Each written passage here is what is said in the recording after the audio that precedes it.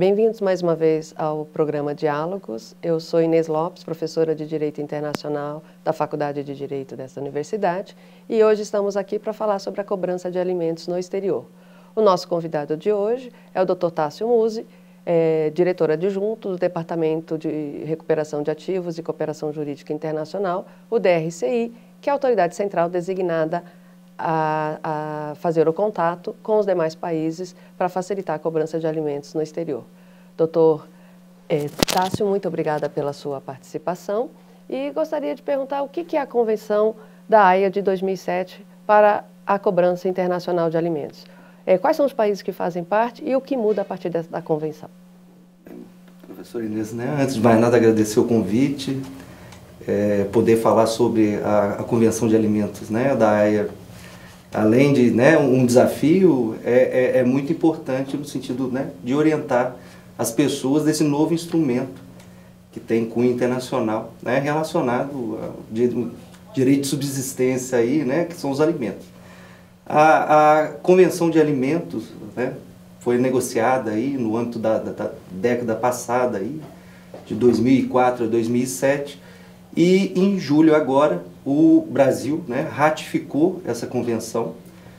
E o que, que ela objetiva? Ela objetiva viabilizar tanto é, o reconhecimento e a execução de sentenças, por exemplo, proferidas no Brasil, cujo o, o demandante se encontra no exterior, o pai, por exemplo, né, de um filho no, no, no Brasil, que eventualmente né, tem uma condenação a prestar alimentos e vai morar em outro país. Essa convenção ela viabiliza essa cobrança no exterior, mais do que reconhecer o dever de prestar alimento, ela viabiliza que, seja, que, que esses alimentos sejam executados com medidas coercitivas e também possibilita o quê? A própria propositura de ações, né, o, o alimentando aqui no Brasil, cujo, né, usando o exemplo do genitor, que eu acho que é o mais tradicional aí, que se encontra no exterior, ele pode ajuizar uma ação contra esse, né, em desfavor desse desse, dessa pessoa que tem o dever de prestar alimento e mais do que isso, uma vez sendo bem sucedida essa demanda no exterior, executá-lo também.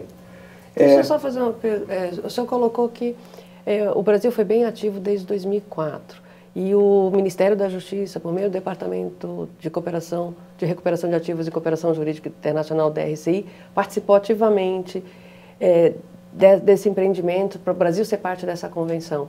Isso é resultado de uma demanda crescente no departamento? Não, perfeitamente. É até bom esclarecer para as pessoas, né?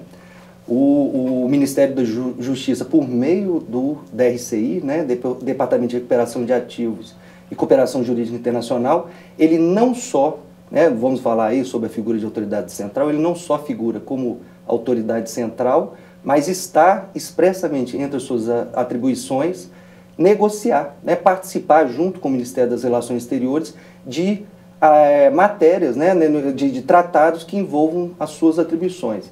Nesse sentido, além de o, o DRCI ter participado ativamente, ainda no âmbito da negociação da Convenção é, da, de Alimentos, também, né, a gente pode falar, né, dizer isso, para a sua né, efetiva ratificação no plano internacional, que depende do ato aí do, do, do Poder Executivo, né, foi eleito no, no, início desse ano como projeto prioritário. Né, e creio que fomos bem sucedidos.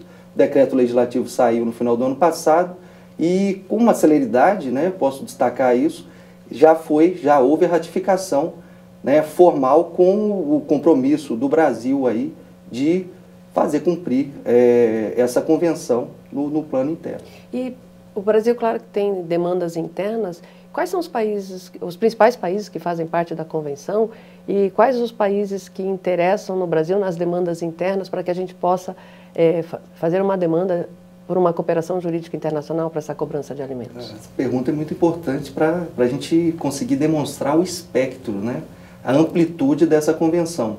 Não só né, a maior parte dos países da, da, da Europa, Estados Unidos, e o Brasil, né, é bom destacar que ele foi pioneiro na América do Sul aí, em relação à, participação na, na, na, conferência da AIA e né, na negociação aí, né, vou puxar um pouco a sardinha aí do Brasil, deixa de ser um protagonista em relação à, negociação e hoje esperamos que na aplicação dessa convenção ela também sirva, o Brasil sirva como referência. É, e, e acredito que isso seja muito importante também, porque além de envolver países é, é, é como Estados Unidos, Portugal, que são países importantes, isso significa que isso vai facilitar também para a cobrança de alimentos entre os países da América Latina, desde que eles também sigam o modelo do Brasil para fazer parte, é isso? Perfeitamente. Né? O, o Brasil, é até bom que se diga, ele é extremamente cooperativo e isso né, acaba refletindo né, no sucesso de demandas. Lembrando que no plano de, de é, da cooperação jurídica internacional, né, embora haja a questão de reconhecimento de decisões de outros países né, seja um, um, fato mais corriqueiro, em relação à execução propriamente dessas sentenças, há, né, e, e hoje ainda há, porque a convenção ainda não está vigente, uma grande dificuldade. E a execução é está relacionada à questão da eficácia, do resultado prático. De nada adianta uma sentença, né, embora reconhecida no outro país, que não possa ser executada, ou seja, ser alcançado o resultado material ali pretendido, que no caso dessa convenção são os alimentos. É, então, isso é o que muda, ela vai facilitar a circulação dessas sentenças de alimentos. E o que acontece, por exemplo, se um, um devedor de alimentos não paga no Brasil? Como é que a, a, o credor de alimentos que se encontra no exterior pode fazer para cobrar alimentos no Brasil por meio dessa convenção? Não, é perfeitamente, né? É uma, uma, uma via de mão dupla, né? E tanto né, o, devedor que se encontra no exterior como o devedor que se encontra no Brasil, é, o, o, o, autor da demanda, né, o alimentando ali, vai poder solicitar. Né, no caso, né, a gente tem que diferenciar dois aspectos de, de, de atuação. Um é quando o, já foi, né, já há uma, uma, uma decisão, uma, né, uma decisão no país e você vai querer torná-la. Né? Primeiro, é, é, reconhecê-la no outro país e executá-la.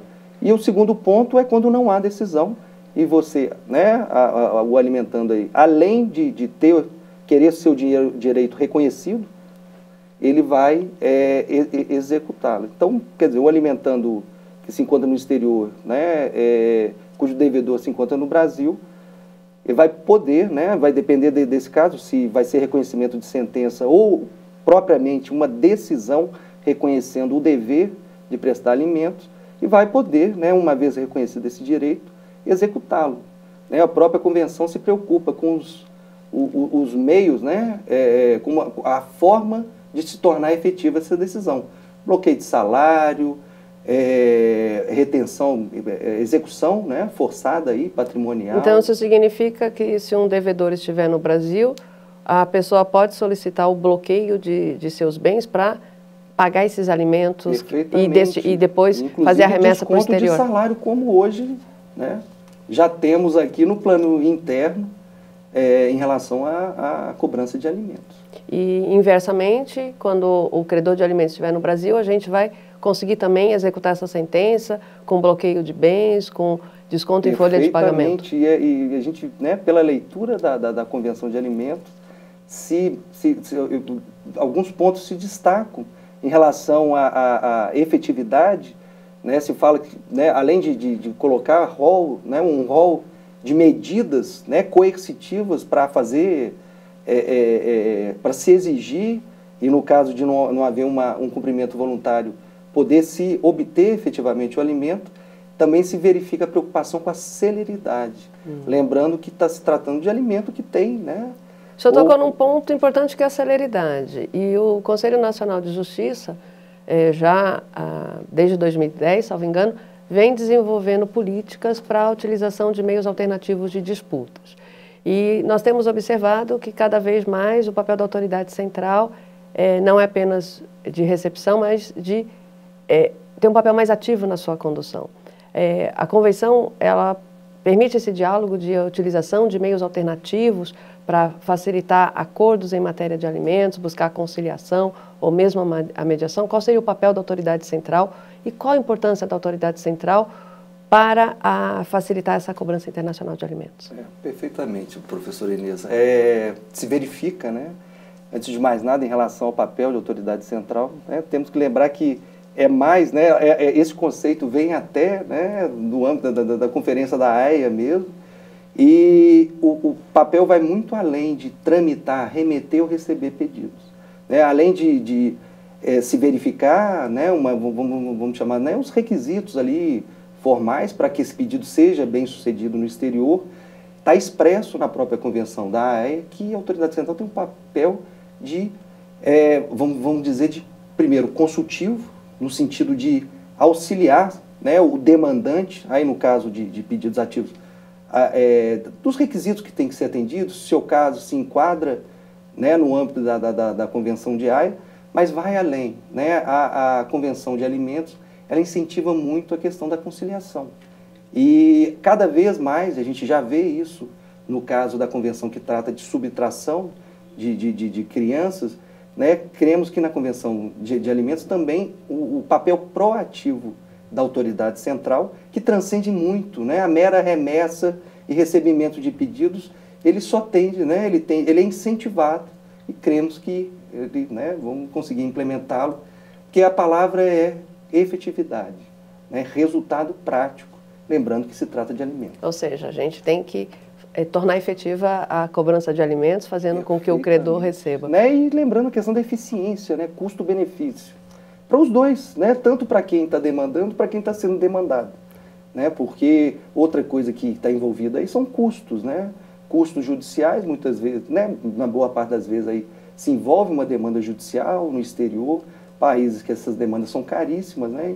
Então, assim, a Convenção da, da de, de, Alimentos, ela tenta minimizar, inclusive com oferecimento de é, assistência judiciária gratuita, mas, por outro lado, né, como, como isso implicitamente é, acaba implicando custos para o Estado, né, a conciliação é fundamental. É, uma outra pergunta, falando nessa efetividade, a Conferência da AIA de Direito Internacional Privado criou o sistema do iSupport. O que, que é esse sistema? O que, que ele objetiva? E isso vai ser importante para o Brasil fazer parte desse sistema? Ah, perfeito. Né? Ele até, o, o sistema de suporte, ele transcende a própria Convenção de Alimentos e é uma maneira efetiva de tramitação né, é, eletrônica aí de pedidos. O Brasil participa, né, desde o, aí no, no âmbito do Ministério da Justiça, desde o do, do plano piloto do, do, do iSupport, a gente está em estágio avançado para que se consiga né, formalmente é, é, tornar esse sistema é, operante aqui no Brasil e ele né, é, é, é, interessante que ele envolve, né, em vez de, de envolve tanto custo como celeridade, né, em vez daquela tramitação de papel e morosa e custosa, né, o que vai se tentar, é, o que o iSupport objetiva é uma tra tramitação célere, segura, né, por meio é, eletrônico, porém com todas as cautelas necessárias aí para manter a integridade e autenticidade desses pedidos. Né? Mas podemos dizer que a gente está numa fase avançada e esperando em breve aí que ele né, seja operativo. É, em termos, então o iSport vai fazer a, a, a, cooperação por meio do sistema eletrônico, então isso vai facilitar a vida do cidadão. Perfeitamente, e... de celeridade, né? E custo também. Porque a tramitação em meio físico aí, ela tem um custo e questão de tempo também. Perfeito. Com, voltando um pouco à, à essência da convenção, é, ela fala que é possível tramitar até os, 20 an até os 21 anos, então ela considera que é credor de alimento a pessoa até 21 anos. O Brasil tem a tradição de estender isso até a conclusão do ensino superior.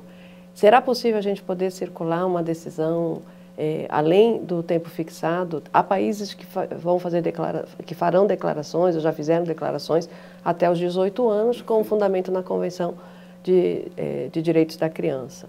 Eu, qual a contribuição que o Brasil pode dar como modelo para reconhecer alimentos a, até é, a conclusão é. de... É, é nesse ponto aí, né, até seguindo a tradição interna, o Brasil ainda foi além. Né? Ele, há, há, há, em relação a, a vamos dizer, ao, ao demandante aí, a regra né, seria o, o, alimentando né, filho, filho até 21 anos, mas havia a possibilidade tanto de restringir, né, como você bem falou, né, até os 18 anos, ou de ampliar. No caso do Brasil, por meio de declaração, houve a ampliação, que transcende inclusive né, a, essa questão da filiação até 21 anos, mas alcança também é, colaterais aí, né?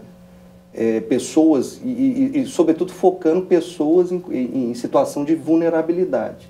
Então, respondendo a pergunta aí, cresce possível por conta dessa declaração que o Brasil fez, no sentido, inclusive, de ampliar, não só em relação a, a, ao filho, né, mas colaterais, pessoas né, cujo parentesco é por afinidade.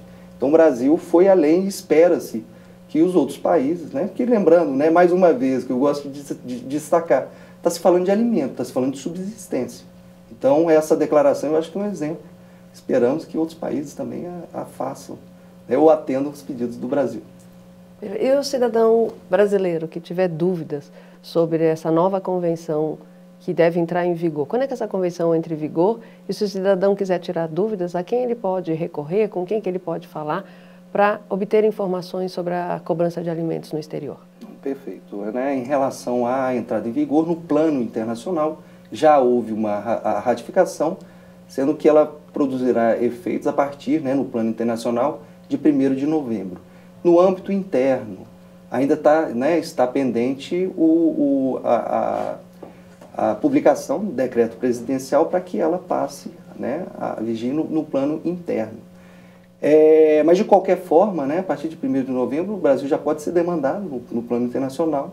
Esperamos, né, e estamos batalhando aí então, para que esse... se o Brasil não fizer o decreto de promulgação é. em novembro, é, nós teremos a possibilidade de receber uma cobrança de alimentos do exterior, mas esse, é, isso não será possível para o brasileiro que estiver no Brasil, é isso? É, é só as idiosincrasias aí do direito internacional. Mas, de qualquer forma, a gente está né, é, isso aí tá, também né, tem um papel aí do Ministério da Justiça no sentido de é, viabilizar, né, claro, uma, uma competência do Presidente da República, mas de viabilizar até a entrada em vigor no plano internacional esse decreto. Em relação às pessoas que, é, que precisem né, demandar a questão de alimento, tem que lembrar mais uma vez que a autoridade central, mais do que tramitar pedidos, ela tem esse papel, está na própria convenção, de, é, de auxiliar né, na da melhor forma da, da, de esses pedidos serem realizados. Então, né, assim como essa entrevista não deixa, não deixo de estar aqui representando, né, fazendo um papel de autoridade central de informar, né, porque é importante que as pessoas saibam desse novo instrumento, né, envolve alimentos, e o DRCI tem uma cooperação, tem uma coordenação, né, uma coordenação geral de, de é, cooperação internacional em matéria civil que está né, à disposição aí, tanto para os demandantes como os advogados aí. Então isso significa que advogados, eh, defensores públicos e o próprio cidadão pode entrar em contato com o DRCI para tirar as né, dúvidas? Perfeitamente, essa é uma das nossas missões. E aí, é, porque muitas vezes tem a questão de utilizar os formulários também, né? Uma das técnicas que a AIA usa é a utilização de formulários. E... Facilita, né? Porque ali já, né, ali nos requisitos, o próprio formulário já orienta o demandante, né, de, de algumas é, é, condições, alguns documentos básicos ali, né, na, no, no, próprio, no, no, anexo ali da, da convenção, há formulários que, sem dúvida, facilitam muito. Agora, ao, ao, ao, ao preenchê-lo, Tendo qualquer dúvida, a autoridade central, diga-se o DRCI, está à disposição para orientação. E o DR, o, a autoridade também facilita, pode facilitar a obtenção de algum documento também no exterior que seja necessário para essa cobrança de alimentos? É claro, né? no âmbito da cooperação é, é, jurídica internacional também há essa possibilidade, né? É, uma das funções aí, né, sobretudo em relação a meio de prova e provavelmente serão documentos para se fazer prova de, da, da, situação jurídica ali, também é um papel da autoridade central viabilizar aí né, a obtenção desses documentos. Doutor Tárcio, eu agradeço imensamente a sua participação. Teria muitas outras perguntas a serem feitas, mas estamos terminando o nosso programa e gostaria imensamente de agradecer a sua presença e as suas contribuições, que muito enriqueceram para o programa Diálogos aqui da UNB. Muitíssimo obrigada. Eu que agradeço. Este é mais um programa Diálogos. É, fiquem ligados na nossa programação. Obrigada.